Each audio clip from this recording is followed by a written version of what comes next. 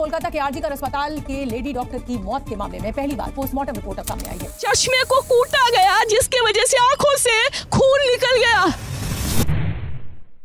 किसी सभ्य समाज और धर्म अनुशासित राज्य में जब कोई अपराध होता है तो वहाँ की पुलिस को अपराधी को पकड़ना चाहिए उस पर मुकदमा चलाकर उसे सज़ा देनी चाहिए। अगर प्रशासन ऐसा नहीं करता सरकार ऐसा नहीं करती तो लोगों को आगे आकर प्रोटेस्ट कर कार्रवाई की मांग करना चाहिए। कोलकाता रेप और मर्डर केस में आरोपी तो पकड़ा गया है। तो इतना हल्ला और प्रोटेस्ट किस बात के लिए? 9 अगस्त को कोलकाता के आई मेडिकल कॉलेज में जो रेप और मर्डर की घटना हुई, उसने पश्चिम बंगाल की ममता सरकार, चाटुकार पत्रकार और अपने फ़ायदे की राजनीति करने वाले नेताओं का सच उजागर करके रख दिया सड़क पर उतरकर प्रोटेस्ट करने वाले ये लोगों को ये सच में देश के इधर के लोगों की चिंता है? या ये सब एक दिखावा है? चलिए देखते हैं इन्हीं सब बातों का सच इस वीडियो में। पहले इस पूरे केस की टाइमलाइन देख लेते हैं, फिर बाकी बातें करेंगे। 9 अगस्त को ये घटना घटती है और सुबह सात से साढ़े सात बजे के बीच में मेडिकल कॉलेज वालों को इसकी सूचना मिल जाती है।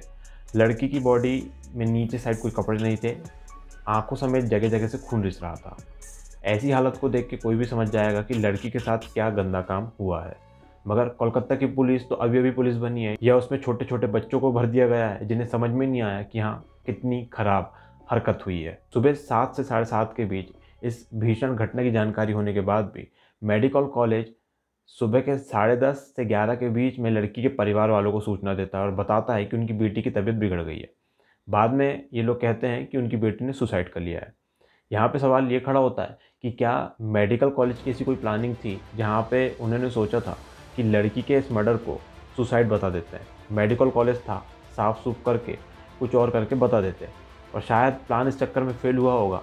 कि लड़की के जिसमें बहुत सारे घाव थे, उसकी आँखें भी फूट चुकी थी। ऐसी परिस्थिति में किसी साधारण राज्य की पुलिस क्या करेगी? मामला दर्ज करेगी। भले रेप का मामला बिना पोस्टमार्टम के जाँच के ना करे, मगर कुछ तो मामला दर्ज करेगी। पर कलकत्ता की पुलिस थोड़ी अनोखी है। उन्होंने कोई एफआईआर दर्ज ही नहीं करी। देर रात जब परिजनों ने थोड़ा दबाव दिया, तब जाकर इन्होंने एक साधारण सी एफ़ दर्ज करी, जिसमें पहले मर्डर का भी ज़िक्र नहीं किया गया था। मामले ने जब सोशल मीडिया पर तूल पकड़ा तो वहाँ की ममता सरकार की भी आँखें खुली और उन्होंने प्रिंसिपल को तत्काल हटा दिया। मगर राजनीति का असूल है कि अगर आप अपने आदमी को कहीं से हटाओगे तो उसे दूसरी जगह सेट करना होगा। तो ममता और टीएमसी ने भी ऐसे ही किया। उन प्रिंसिपल को वहाँ से हटाकर दूसरे किसी कॉलेज में प्रिंसिपल नियुक्त कर दिया। इस बात पर सुप्रीम कोर्ट ने भी सवाल खड़े किए थे, पर प्रिंसिपल साहब के संबंध टीएमसी और ममता के साथ अच्छे बताए जाते हैं। तो उन्हें सेट करना तो टीएमसी वालों की मजबूरी रही होगी। और इन्हें सेट कर कर टीएमसी वाले अपने मानवता का और राजनीति के नियमों का पालन ही कर रहे थे। वो तो सोशल मीडिया के कारण बात लीक हो गई और टीएमसी वाले घेरे में आ गए। लड़की घर वाले कलकत्ता पुलिस की कार्रवाई से बिल्कुल खुश नहीं थे। थोड़ा हल्ला हुआ, मामला हाई कोर्ट पहुँचा और हाई कोर्ट ने इस पूरे केस को ही उठा के सीबीआई को ट्रांसफ़र कर दिया और यहीं से दूसरी कहानी शुरू होती है। किसी राज्य के लॉ एंड ऑर्डर को मेंटेन करना वहाँ की पुलिस की ज़िम्मेदारी होती है और ये पुलिस राज्य सरकार के अधीन ही काम करती है। राज्य सरकार जैसा आदेश देती है, पुलिस वैसा ही करती है। अब चाहे किसी केस में एविडेंस को मिटाना हो, किसी व्यक्ति को मुजरिम बनाना हो या पूरे केस को घुमाना हो, पुलिस के पास सारा पावर है, जिसका कंट्रोल राज्य की सरकार के पास है। और पुलिस सरकार की इन नाजायज़ मांगों को क्यों पूरा करती है? क्योंकि इसी सरकार के पास पुलिस विभाग के प्रमोशन और तबादले की पूरी शक्तियाँ होती हैं। राज्य सरकार चाहे तो किसी भी केस के साथ छेड़छाड़ कर सकती है, मगर कब तक? जब तक वहाँ कम वक्त सी न घुस जाए। जिसके खुद के कई केस आज तक अनसुलझे ही रह गए हैं। तेरह अगस्त को जब हाईकोर्ट द्वारा इस केस को सीबीआई को ट्रांसफ़र कर दिया गया, उसी दिन आरजीकर मेडिकल कॉलेज वालों को याद आया कि पिछले साल दिवाली में रेनोवेशन का काम नहीं हुआ था। तो चलो अभी करा लेते हैं। और कॉलेज वालों ने सोचा होगा कि भाई, अब कॉलेज का नाम इतना प्रचलित हो रहा है तो दूर दूर से लोग आएँगे, देखेंगे तो साफ़ सफ़ाई कर लेते हैं और खासकर उस जगह की जहाँ पर यह घटना घटी थी। हॉस्पिटल प्रशासन और कोलकाता पुलिस इतनी मासूम थी कि इन्हें किसी ने बताया ही नहीं और ना ही इन्होंने गूगल किया कि वहाँ पर चीज़ों को रेनोवेट करना एविडेंस के साथ सीधा सीधा छेड़छाड़ है।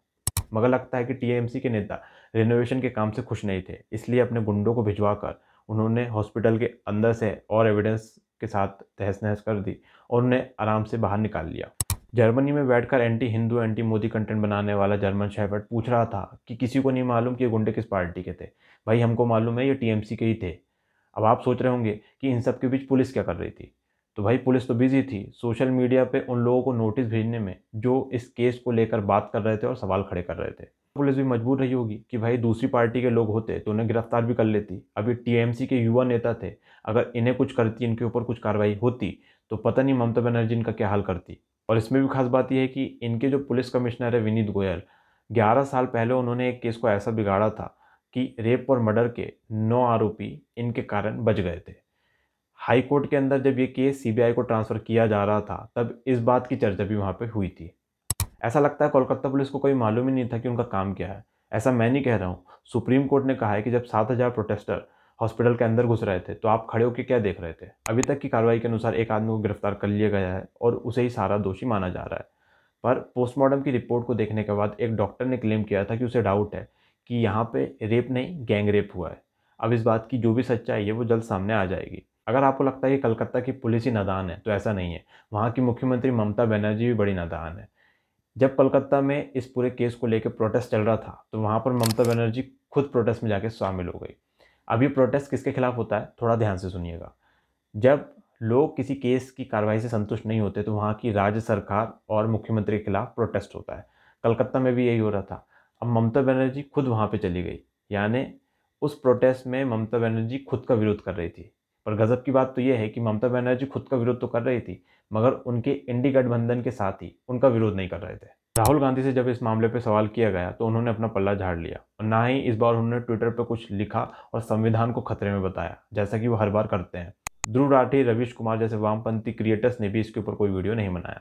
हालाँकि ये पहली बार नहीं था। इसके पहले संदेश खली में जब टीएमसी नेता शाहजहां शेख ने कई महिलाओं के साथ रेप किया था, उन्हें शोषण करते हुए उनके घर वालों को मौत के घाट उतार दिया था, तब भी इन लोगों ने कुछ नहीं बोला था, क्योंकि इन्हें भाजपा के विरोध में बोलने के पैसे मिलते हैं। सच दिखाने के नहीं। राहुल गांधी, प्रियंका गांधी, आम आदमी पार्टी की स्वाति मालेवाल और अन्य नेता, जब यूपी में कुछ होता है, बाकी जगहों पर कुछ होता है तो वहाँ जाकर बैठ जाते हैं, ट्वीट डालना शुरू कर देते हैं। मगर अभी इन्हें क्या हो गया? सब चुप है? हो सकता है इनका नेट पर ख़त्म हो गया हो या कलकत्ता जाने के लिए इनके पास पैसे ही ना हो। लड़की हूँ, लड़ सकती हूँ का नारा देने वाली प्रियंका गांधी को क्या कलकत्ता की लड़कियाँ लड़कियाँ नहीं लगती? या कि ये समझती हैं कि कलकत्ता भारत का हिस्सा ही नहीं है, जिस पे बात करना ज़रूरी है? असल में मुद्दा ये है कि वेस्ट बंगाल के अंदर 42 लोकसभा सीट्स हैं।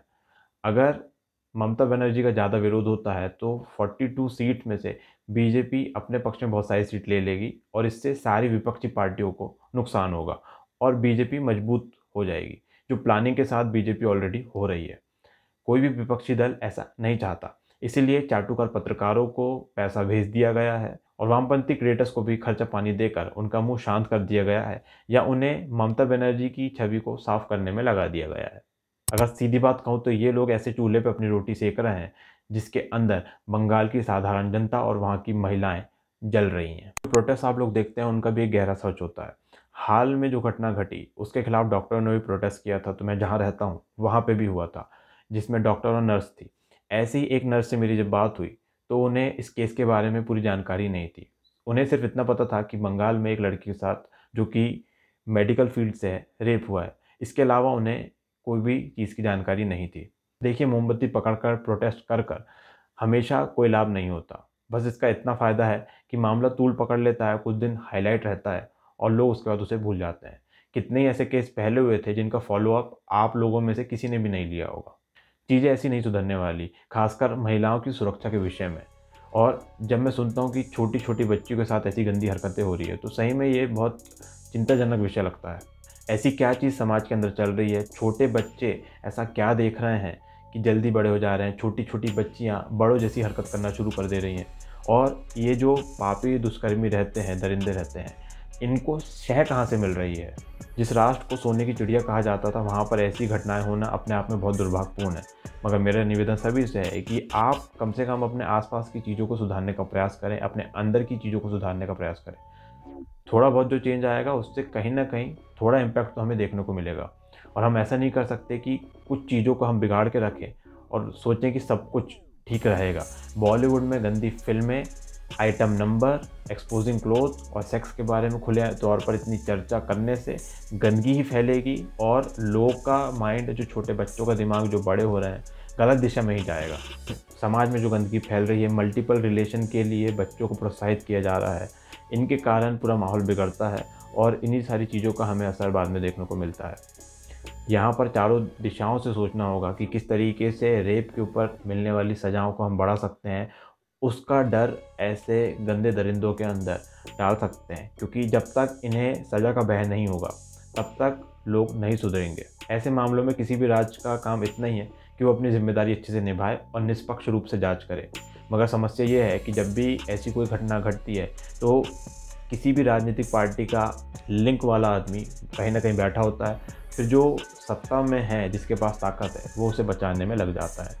क्योंकि कहीं ना कहीं करप्शन और ये ख़राब चीज़ें हमारे सबके जहन के अंदर हैं तो हम एक दूसरे को बचाने में लगे रहते हैं। वहाँ पे ना मॉरलिटी काम आती है और ना ही दूसरी चीज़ें, क्योंकि हमारे अंदर वो चीज़ें डाली नहीं गई हम सब मॉरली रूप से सब की सब करप्ट हैं।